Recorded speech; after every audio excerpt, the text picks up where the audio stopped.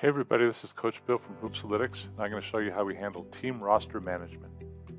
If you're going to be tracking player stats, you need to do this once for each team. So let's dive in and get started. To get started, click Teams from the top of any page to go to the Team Management page. From here, show all your teams, and then click Manage Team to add a roster.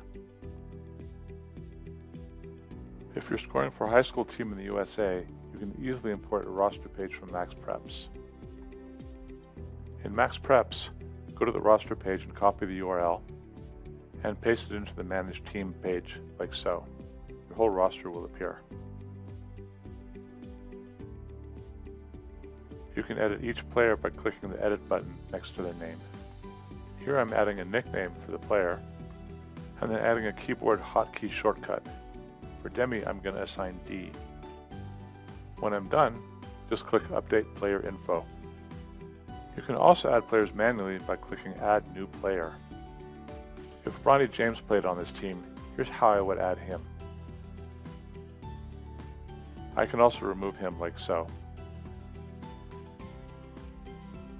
Hoopsalytics also makes it easy to print out rosters for people doing the book or game announcers.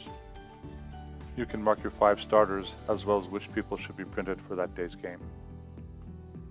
Click Print Roster and then hand the sheet off, and you're done.